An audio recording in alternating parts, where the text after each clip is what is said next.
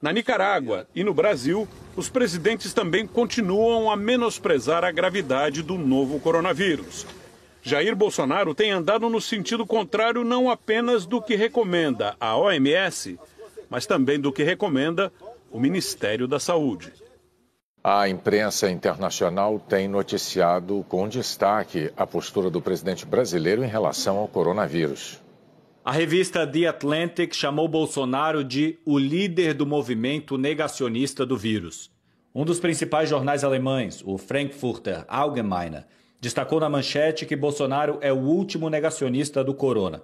A agência de notícias AP publicou que, mesmo com o aumento de número de casos de coronavírus no maior país da América Latina, o presidente Jair Bolsonaro tem mantido uma postura mais desdenhosa do que qualquer outro grande líder mundial chamando a pandemia de um problema menor. A rede britânica BBC publicou que, enquanto o mundo tenta desesperadamente controlar a pandemia, o presidente brasileiro está se esforçando para minimizá-la, indo contra os conselhos do seu próprio ministro da Saúde.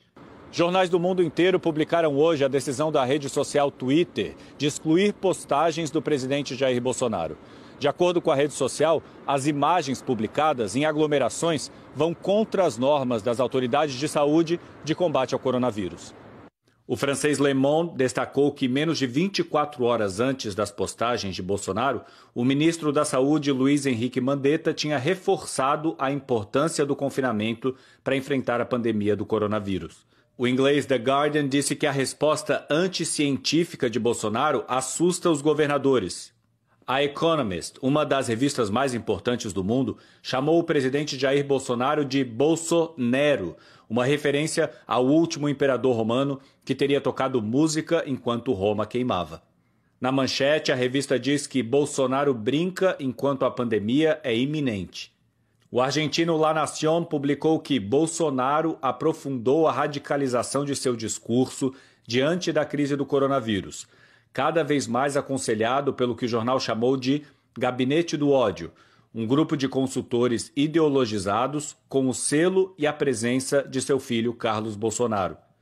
O New York Times reproduziu o texto da agência Reuters dizendo que as medidas econômicas de austeridade põem em risco a luta contra o coronavírus.